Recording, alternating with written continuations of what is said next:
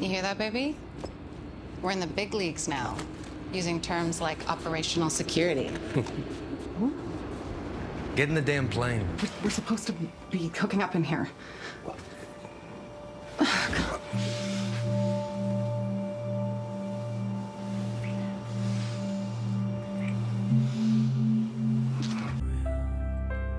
Do you want to come in?